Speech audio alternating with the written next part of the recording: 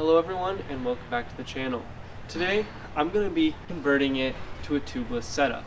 Now the reason I'm doing that is because um, I had to drop down the air pressure on my last ride in order to get more traction in the mud. And when I did that I got a pinch flat. So it just seems like the natural next step to try and improve traction and reliability. So I'm going to take the time to just kind of examine what caused this flat. Now, initially I just assumed that it was a pinch flat.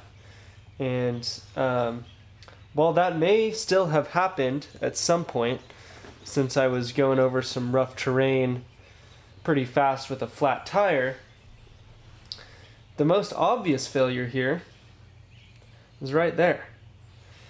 Now, the, re the reason I think this happened is low pressure in addition to water getting inside the rim allowed the tire to slip around the rim. And with that slippage, since the electric motor, you know, has so much torque, the the rim is moving faster than the tire moves. When you get that slippage, it starts pulling the the um, the tube away from the valve stem, and it ripped it off. Uh, tell you guys the differences in valves you can get. The Sur-Ron comes with a Schrader valve, and a lot of mountain bikers will switch to a Presta valve, especially when going tubeless. And the reason they do that is mountain bikers like to pedal up the hill with 30 psi in their tires, let's say, and they want to be able to drop the pressure down to, I don't know, maybe 20 or 18 while going downhill to get more traction. Now, there's not really any reason for me to do that on a Sur-Ron because I do the whole ride at the same tire pressure, and the Schrader valve um, works better with an air compressor. Most air compressors can't even fill up Presta valves unless you have the right attachments, but it's just a lot more sturdy. Um, I've had multiple Presta valves break on me, so while I did run those on my mountain bike, um, there's really no benefit to on the Sur-Ron. So I would just recommend going with a good tubeless Schrader valve. It's time to move on to step one of the tubeless setup. First, you want to make sure there's no dirt or anything that's going to affect um, adhesion or the seal uh, when we go to tape the inside of this rim up. So I'm going to use brake clean.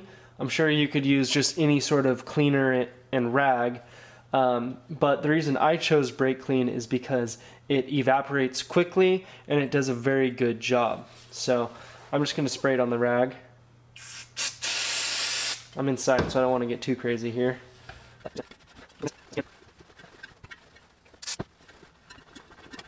Alright, so it basically evaporates instantly, so I don't really need to wait for this to dry. I Might try and peel that off though. Um, and the reason I'm doing this is because in order to make sure the, the sealant doesn't get through the spoke holes here, you have to tape over it. And of course, if you're applying adhesive, you want it to have a good grip. There is like tubeless specific like rim tape that you can buy of various sizes. Um, and it's actually kind of a gimmick. Um, I have a friend that works, you know, at a, at a, at a bicycle shop in the city and the pro tip is really just to use Gorilla Tape. It's more durable, it's thicker, it has better adhesion, and uh, you can find it a lot easier than like specific rim tape. I think rim tape's like 15 or 20 bucks for a small roll on online or something, but you can go to Home Depot or Lowe's or wherever is closest to you and get a pretty massive roll of Gorilla Tape that you can use for anything. I would recommend going with this. Uh, the downside to the Gorilla Tape is that it leaves residue, but I don't plan on ever taking uh, the tape off, and it's not something that is really prone to failure. So I'm just going to be using Gorilla Tape, and you can choose to do what you wish with that information. So I tried doing this myself. Uh, I haven't done this before, and uh, as you can see, there's a lot of air bubbles here, which isn't good enough. So I called up my professional uh, bike mechanic friend Nick, and he's going to show us the right technique. So first thing we're going to do is pull off this old shitty tape. So what I'm gonna do is section off this uh, roll of Gorilla Tape to try and match the width of the rim bed as best I can. So we're just laying the tape up here, kind of get an idea of where we need to break it. And just kind of double check, see if it lays in all right. Looks like this is gonna work well. And the key to taping these rims is uh, when you're applying the tape, you wanna make sure and stretch it as best you can as you're putting the tape on. So we're going to start about halfway around the rim from the valve hole. Get it stuck on there. And then really tension the tape as you lay it down.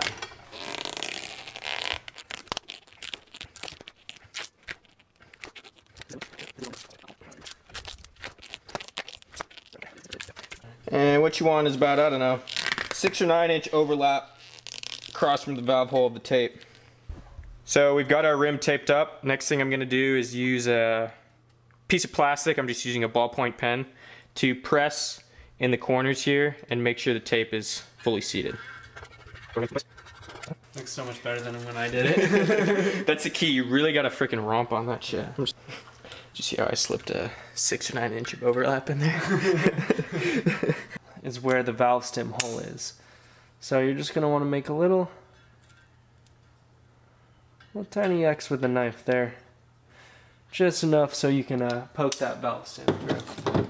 Then take your valve stem, O-ring off, and just shove that through the tape like so. Put your O-ring on first, locking nut. Alright, and then you can put the cap on for now. Once your rim is completely sealed with tape and you have your tubeless valve stem installed, you're ready to put the tire back on. What you need to be careful about is not damaging the tape that you just put onto the rim. If you do nick it and you op open something up and break the seal, then your spoke holes are going to be exposed to air and sealant and you'll have to do the tape over again. So I got the tire on the rim now and when you're not uh, working around the, a tube that's in there, it actually went on pretty easy, which is good news. Um, that being said, I was careful not to, to damage the tape, but I won't know if I did a good enough job with that until I go to put air and sealant in it. So uh, hopefully it's good. Uh, if not, I guess we'll find out. Before putting air in your tire, you need to put the sealant in. I'm going to be putting the sealant in through the valve stem here, and to do that you need to remove the core. To do that, I'm going to be using just, you know, a valve stem core removal tool.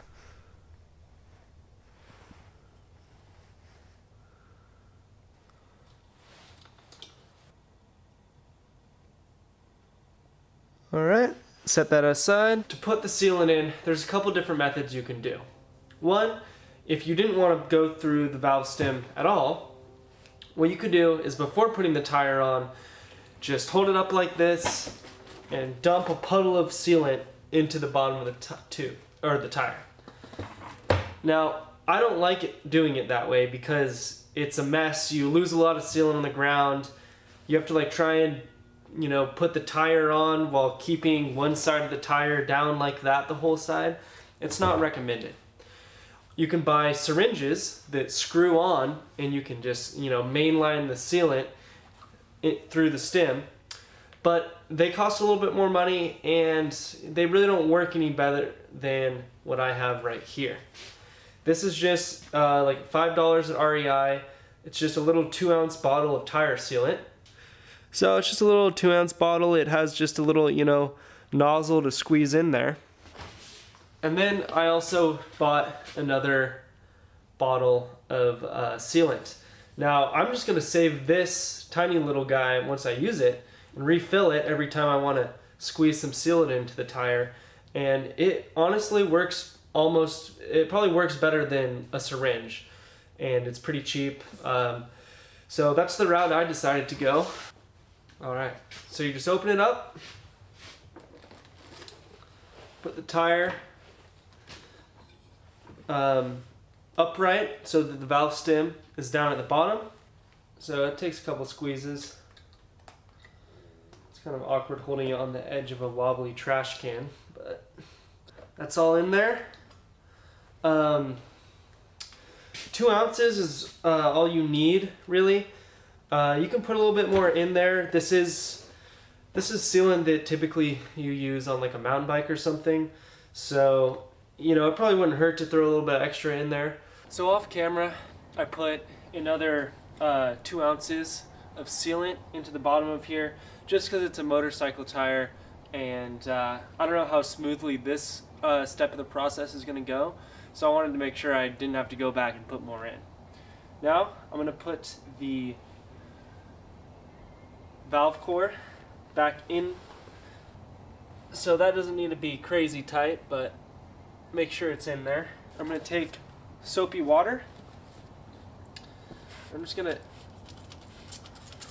spray it kind of around the areas where the rim meets the tire. And the reason I'm doing this is really only for lubrication. I just want things to go together smoothly. And then I'm going to work sealant around. So you might lose some out of your tire here. It's okay. You can see it coming out. That's fine. Knows you. It means you uh, mix it around good enough. And then I'm going to shove about 40 psi into the tire.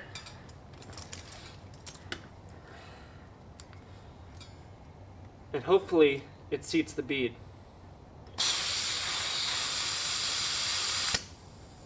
There's 20, 30, and that's 40. So now I'm going to bounce it around in place.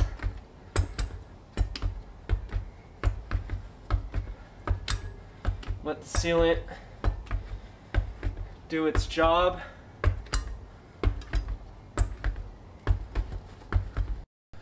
So after bouncing it around a little bit more, the only place that I'm still getting sealant out is at the bottom of the valve stem. And it stopped, and I'm not losing any air anymore. But I think that that is because this Sur-Ron wheel has such a, a pretty high concavity on the inside of the rim here that uh, the O-ring doesn't quite get a good enough seal around here. So it's working and it's fine, but I think I over tightened it so the O-ring got squished out and it's not doing a very good job. If you had a thicker O-ring or maybe two of them, uh, I don't know, it might have uh, had less of an issue sealing, but I'm gonna call that a success and hopefully I don't have any issues when I go to ride it around. I want to cover some alternative options. The three main options to reduce flats that I personally considered before making my decision was a rim lock, a standard tubeless setup using tape and sealant, and then a Tubliss 2.0 tire system. A rim lock will run you around 20 bucks and it locks the rim in place with friction. This prevents the valve from being torn away from the tube, which is how I got my most recent flat. The downside to a rim lock is that it does not eliminate the tube and requires drilling a hole in the rim. I decided to not go this route because it does not eliminate the risk of a pinch or puncture flat that comes with a tube, and you can't run any lower pressures. The next option is the one that this video is on, and it's just a basic tubeless setup. It will prevent pinch, puncture, and valve tear flats for about 30 bucks and you can run low pressure. The most expensive option, and also the best option, is a Tubliss system. I will provide a link to their website so you can research how it works and where to buy it. But essentially, it prevents pinch flats, it locks the rim in place, and running sealant is optional if you want to prevent puncture flats as well. It does all of this while protecting the rim and you can run as low as 10 psi of air pressure. The reason I didn't go this route is that it's $100 per wheel and probably overkill for a lot of people. Alright, so another thing that's been kind of coming up on this bike is a really soft lever.